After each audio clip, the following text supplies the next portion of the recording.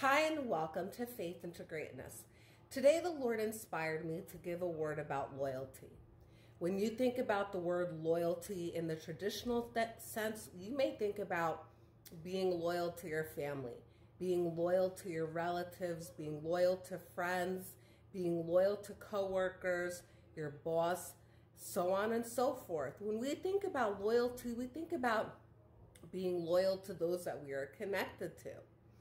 But there's a word here that the Lord has inspired me to share with every person about loyalty and where your loyalty should lie no matter what. Your loyalty certainly shouldn't lie with your family just because they're your family. And your loyalty certainly shouldn't lie with anybody just because you know them and you've developed trust with them and you have history. Time and time again, God has shown me that people change their minds like this in the drop of a hat.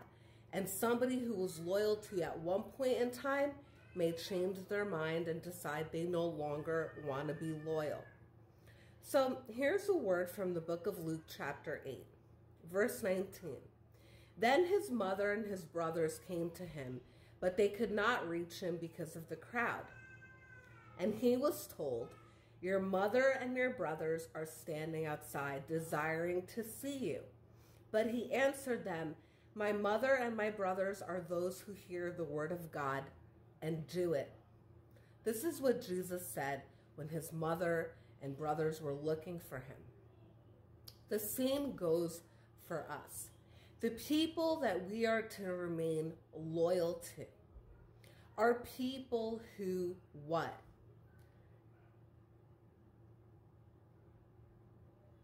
They hear the word of God and they do it. I don't want to add my own words to this. They do it. The Bible says that you will know the Lord's sheep. They hear his voice and they follow him. Their life follows what the Lord expects from us. God wants you to remain loyal to God and to do God's work, okay? To no one else. Let me share a story with you guys. So, I was in a situation for many years. I'm no longer in this predicament. By God's grace, God removed me from this kind of predicament to a degree. I'm still a part of it. But for the longest time, there was somebody who was around, who was close, who other people did not enjoy this person's presence or company. So when we would have gatherings, people wouldn't want to invite this person, but I would always extend the invitation. I would always invite this person. I wanted this person to be included, to feel included. But it was because that's the path that God led me down. The Lord led me to a path of doing this, despite having my challenges with this person personally in the past, despite me seeing what has happened. God has shown me time and time again that forgiveness is king. And I have chosen to move forward respectfully and include this person. Now, I didn't receive that same type of treatment in return. What's really ironic is I was the one who was always loving this person, respecting this person, and being inclusive of this person. But this person didn't get the same treatment from others. By way of example, other people would exclude this person from gatherings, gatherings, speak negatively on this person, and so much more. You won't, you won't even believe how things have unfolded over the years. The person who wasn't treated well by the group of people who excluded this person, spoke badly about this person, this person is chasing these people to be included.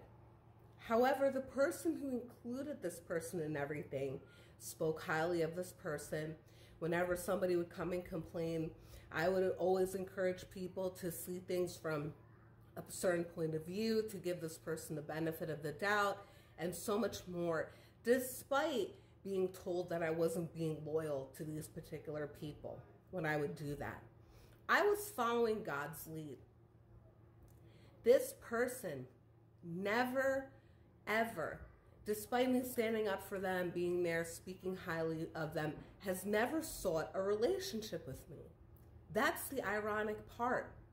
The irony is that this person has done nothing but spoken poorly of me. But now this person has been excluded by all until recently when people started to change their mind and include this person at an event. What's the point of my story? Thank goodness I wasn't loyal to those people who were trying to make me exclude this person from being at gatherings because they didn't like this person. I was following God's lead. And thank God I was because you know what ended up happening? This person ended up starting being included in events. God changed those people's hearts. And see, if I would have gone along with them, would have been just as guilty as those people. It's really important that your loyalty lies with what? With God. And then you follow people whose loyalty lies with the Lord and who do God's work and who do what God expects from them.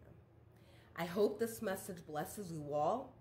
May you understand the importance of following God's lead, of putting God first in your life. I pray for all of us. In the name of Jesus, I pray, amen.